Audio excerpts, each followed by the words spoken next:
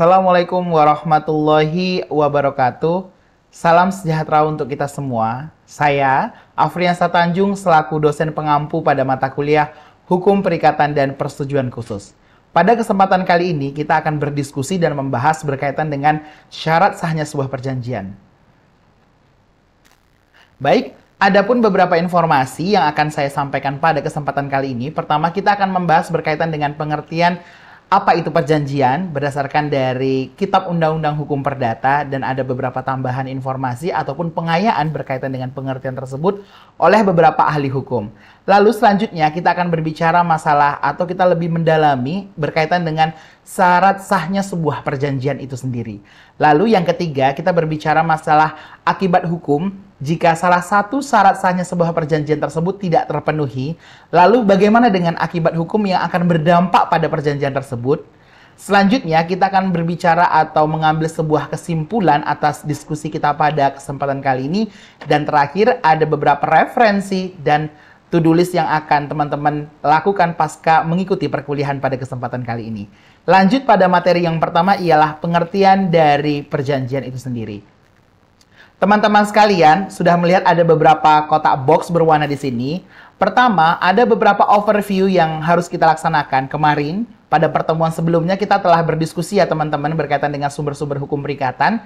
Masih pada ingat ya tentunya. Ada dua sumber hukum perikatan. Pertama, perikatan itu lahir karena perjanjian.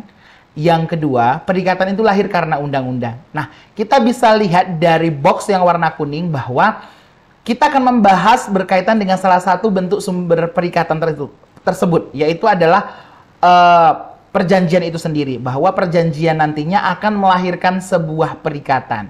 Kita lihat pada box yang kedua, yang hijau neon gitu ya. Di sana tertulis bahwa perjanjian itu diatur dalam buku ketiga Kitab Undang-Undang Hukum Perdata. Teman-teman pasti bisa merefleksikan begitu ya.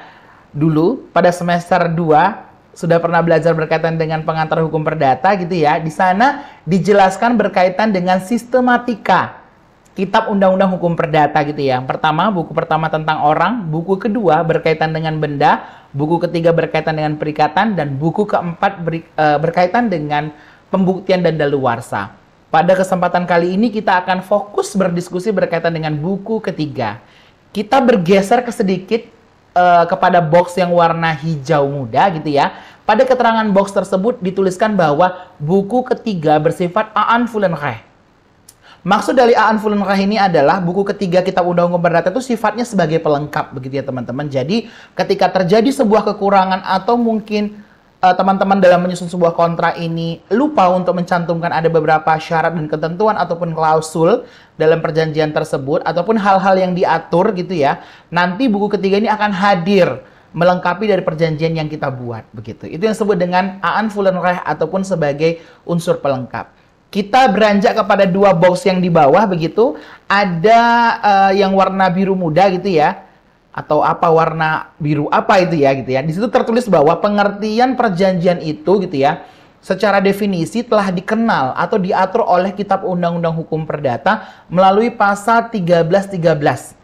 Apa itu? Bahwa perjanjian berdasarkan definisi dari Kitab Undang-Undang Hukum Perdata adalah suatu persetujuan adalah suatu perbuatan di mana satu orang atau lebih mengikatkan diri terhadap satu orang atau lebih. Nah, jadi pasal 1313 Kitab Undang-Undang Hukum Perdata ini sudah memberikan definisi berkaitan dengan perjanjian gitu ya. Tetapi gitu ya, banyak beberapa pakar ahli hukum ini masih memberikan kritik terhadap definisi perikatan yang disampaikan oleh pasal 1313 tersebut. Nah, kita coba lihat pada slide selanjutnya begitu ya, bahwa terdapat ada beberapa definisi perikatan atau mohon maaf definisi perjanjian berdasarkan dari uh, doktrin perspektif gitu ya atau berdasarkan dari pendapat ahli. Kita bisa menuju kepada box yang pertama di sana gitu ya. Menurut Prof.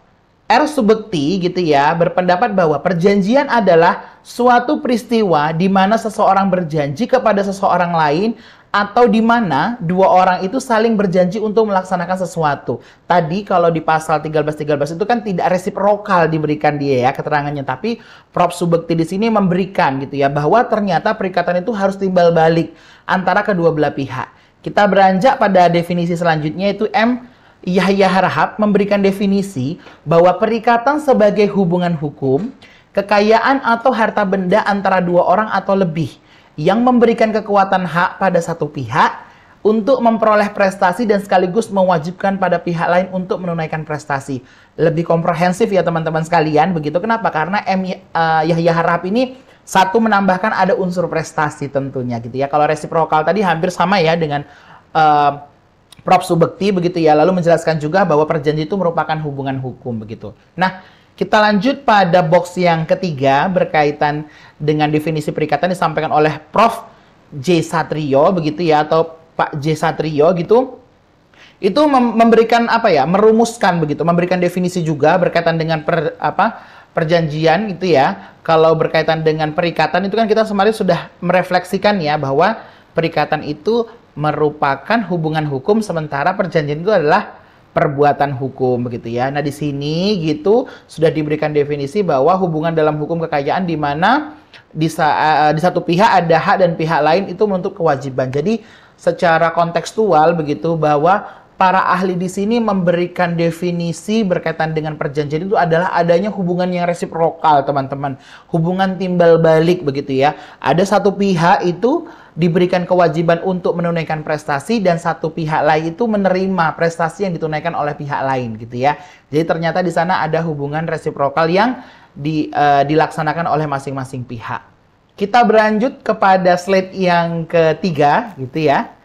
Berkaitan dengan pokok pembahasan kita yaitu adalah syarat sahnya sebuah perjanjian. Nah, teman-teman sekalian begitu sebagai rujukan dasar hukum berkaitan dengan perikatan gitu ya kita menelaah ternyata di dalam buku ketiga kitab undang-undang hukum perdata tersebut telah diatur uh, syarat sahnya sebuah perjanjian pada pasal 1320 kitab undang-undang hukum perdata. Nah, jadi dikenal dengan 13 1320 KUH perdata begitu ya. Itu merupakan salah satu dasar hukum untuk mengidentifikasi teman-teman apakah sebuah perjanjian itu sudah sah tidak di hadapan hukum gitu ya. Di sana diberikan ada empat syarat gitu ya untuk dikategorikan kalau perjanjian itu sah di mata hukum gitu. Kita lihat di sana syarat yang pertama ada kesepakatan atau sepakat, yang kedua ada kecak, uh, cakap hukum atau cakap, yang ketiga ada hal tertentu, dan yang keempat itu teman-teman sebab yang tidak dilarang atau mungkin beberapa definisi yang kita lihat di beberapa buku ada kausa yang halal begitu ya.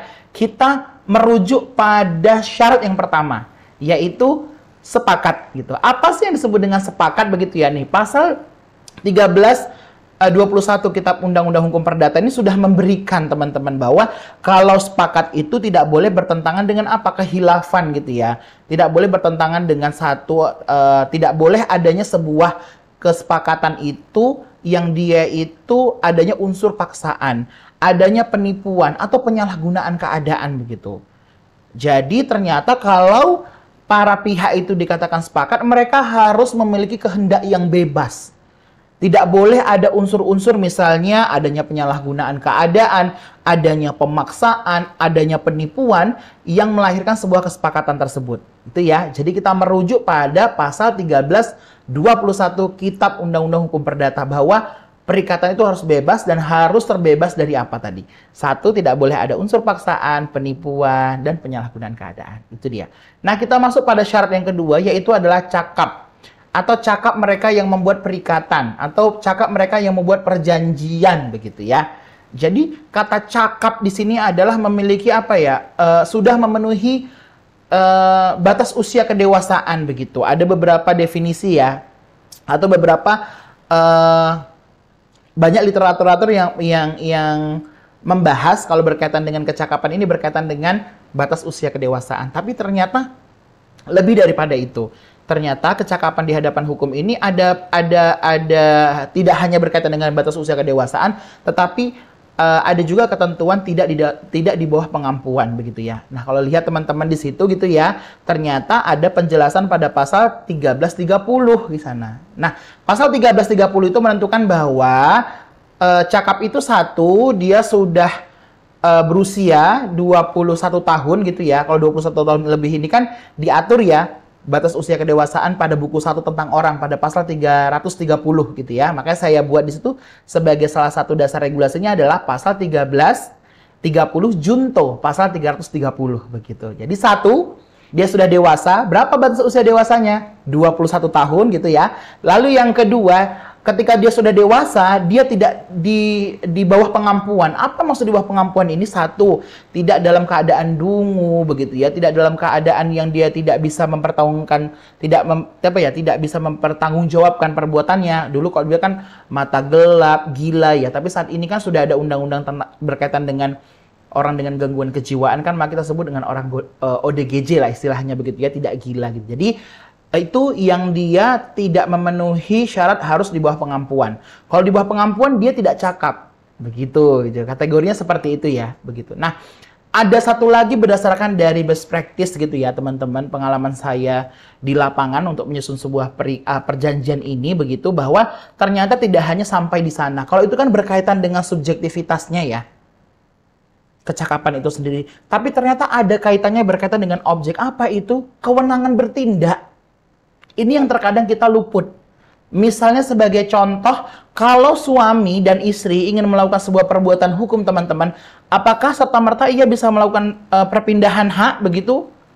Nah, kemungkinan tidak. Kenapa? Karena kita melihat ya, adanya akibat hukum Hati ya, antara si laki-laki dan perempuan, suami ataupun istri di dalam perkawinan terhadap harta bendanya. Ayo, pasal berapa? 35 Undang-Undang Perkawinan tahun 1 tahun 74 bahwa di sana di, uh, di, dikenal dengan namanya persatuan terbatas harta perkawinan gitu ya. Jadi ternyata ketika kita ingin mengalihkan sebuah objek tersebut, kita juga harus memiliki kapabilitas, kewenangan begitu. Apakah kita memiliki nggak hak secara penuh barang ini untuk kita pindahkan kepada pihak lain? Nah, itu dia disebut dengan kewenangan bertindak. Mohon untuk di teliti lebih dalam. Jadi tidak hanya yang dimintakan itu adalah batas usia kedewasaan, lalu di, dicek apakah dia di bawah pengampuan atau tidak ya gitu. Tidak tidak hanya sampai di sana begitu gitu ya. Jadi harus lebih mendalam menggali kebenaran materialnya, apakah dia berwenang atau tidak. Nanti akan kita bahas apa sih sebenarnya akibat hukum ketika kita lalai terhadap syarat ini dan kita luput ternyata eh kita tidak memenuhi syarat tersebut. Akan kita bahas pada slide selanjutnya. Oke, kita masuk pada poin ketiga berkaitan dengan hal tertentu. Kenapa sih perjanjian itu harus jelas gitu? Objeknya itu mau ngapain gitu teman-teman sekalian. Nah ini penting ya. Kalau misalnya saya dengan Bapak X gitu ingin melakukan perjanjian, perjanjian kami itu ngapain? Nah inilah dia. Ada pokok persoalan tertentu yang dijadikan sebagai objek dari perjanjian itu. Nah, sebenarnya ketentuan peraturan perundang-undangan sudah mengatur dia di pasal 1234 KUH Perdata. Apa itu? Hal tertentu itu yang dimaksud adalah pokok prestasi gitu. Apa yang disebut dengan prestasi pada pasal 1324 satu gitu ya, untuk memberikan sesuatu. Nah, yang kedua, untuk berbuat sesuatu. Dan yang ketiga, untuk tidak berbuat sesuatu. Ayo kita teman-teman kita refleksikan ke dalam kehidupan kita sehari-hari.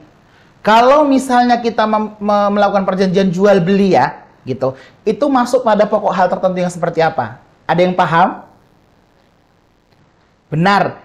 Kita melakukan salah satu bentuk prestasi ialah memberikan sesuatu. Ya, karena kita memberikan sesuatu gitu ya kita sebagai penjual begitu. Nah, bagaimana kalau teman-teman dalam keadaan ini sudah bekerja menandatangani sebuah kontrak kerja dan memiliki hubungan kerja? Ayo, atau mungkin teman-teman melihat ya, kemarin ada seorang pelukis gitu ya, kemarin juga ada seorang yang baru saja menang gitu ya dalam ajang kompetisi lalu diundang untuk menyanyi di sebuah stasiun televisi gitu. Maka itu prestasinya apa gitu? Ayo Mbak X silahkan datang, nanti akan kami bayar berapa jam segini untuk menyanyikan sebuah lagu yang pada saat kompetisi di tingkat internasional itu uh, menjadi juara begitu. Benar sekali, yaitu salah satu prestasinya adalah untuk berbuat sesuatu. Nah, contoh yang ketiga untuk tidak berbuat sesuatu nanti akan kita bahas lebih detail berkaitan dengan uh, apa ya bentuk-bentuk perikatan ya teman-teman. Tapi sebagai contohnya adalah kita bisa membuat perjanjian agar kedua belah pihak itu tidak melakukan perbuatan hukum apa pun begitu. Sebagai contoh dalam lapangan hukum agraria ketika teman-teman mungkin memiliki uh, kompleks perumahan ya di rumah yang terlalu dekat begitu Nah, nanti uh, apa?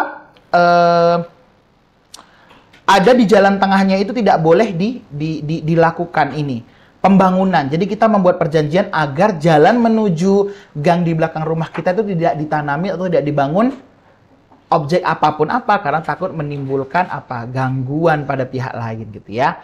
Lalu syarat yang terakhir itu adalah sebab yang tidak dilarang gitu ya. Atau apa dia? Yang keempat sebab tidak dilarang dikenal dengan apa? Tadi salah satunya adalah uh, kausa yang halal. Jadi sebuah perjanjian itu tidak boleh bertentangan dengan undang-undang, ketertiban umum gitu ya, kepatutan dan kesusilaan. Itu dia. Jadi itu dia. Jadi tidak boleh bertentangan dengan itu. Oke.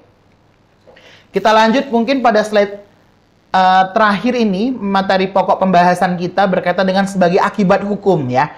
Akibat hukum tidak terpenuhnya syarat perjanjian. Nah, tadi ada empat ya syarat perjanjian gitu ya. Ada satu sepakat, dua cakap, tiga hal tertentu, empat sebab yang tidak dilarang. Kita bisa lihat di sini, kita lanjut.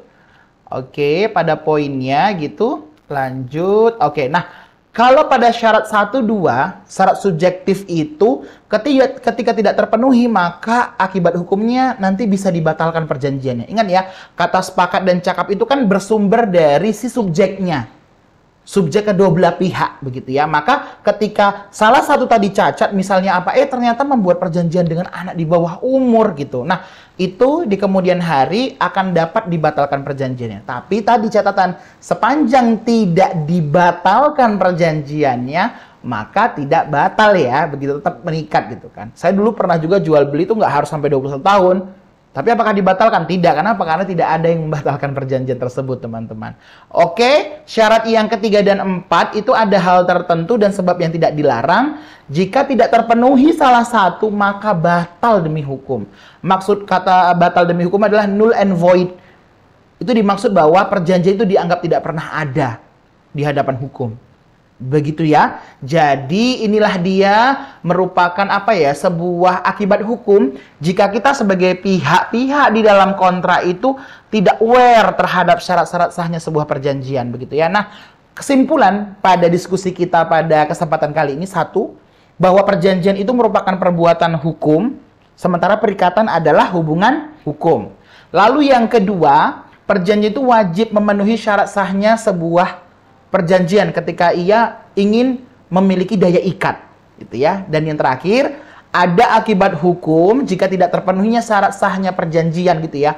Maka perjanjian tersebut ketika tidak memenuhi syarat subjektif dapat dibatalkan begitu. Ketika gitu ya tidak memenuhi syarat objektif maka perjanjian tersebut batal demi hukum. Nah, teman-teman sebagai penutup di sini jika mungkin dalam penyampaian saya gitu masih ada beberapa kurang informasi yang mungkin kurang komprehensif, masih ingin ada yang ingin diluruskan atau ingin menambah informasi silahkan uh, membaca ada beberapa referensi yang saya rekomendasikan kepada teman-teman begitu ya untuk membaca materi berkaitan dengan syarat sah sebuah perjanjian begitu. Untuk memperkaya gitu ya sebagai salah satu pendalaman uh, proses pembelajaran teman-teman untuk pertemuan selanjutnya gitu. Saya harapkan teman-teman ini ya, to-do listnya satu gitu. Teman-teman harus membaca dan mencari bahan bacaan. Ada banyak gitu ya sumbernya gitu ya. Belajar berkaitan dengan lahirnya perjanjian. Karena kan sekarang kita sudah belajar nih syarat sahnya perjanjian. Nah, teman-teman, nanti di pertemuan pekan depan pada kesempatan yang lain kita akan berdiskusi berkaitan dengan lahirnya perjanjian itu kapan begitu ya. Dan teman-teman mohon untuk mungkin membaca ada beberapa teori yang berkaitan dengan lahirnya perjanjian tersebut. Gitu ya. Nanti pada pertemuan ke depan saya akan meminta teman-teman untuk memberikan uh, point of view-nya gitu ya. Mungkin quick preview lah gitu ya berkaitan dengan lahirnya perjanjian itu. Nanti teman-teman bisa lebih fokus gitu apakah dia bentuk perjanjian formil, perjanjian real atau perjanjian konsensual gitu ya. Uh, itu mungkin ada beberapa uh, penyampaian gitu pada materi kesempatan kali ini gitu saya mohon maaf mungkin dalam menyampaikan uh, kesempatan kali ini belum optimal dan masih terdapat ada banyak kesalahan insya Allah nanti di masa mendatang akan saya sempurnakan sekian dari saya kita tutup dengan membaca hamdalah bersama-sama Alhamdulillahirrahmanirrahim saya akhiri Wabillahi taufik wal hidayah. Wassalamualaikum warahmatullahi wabarakatuh.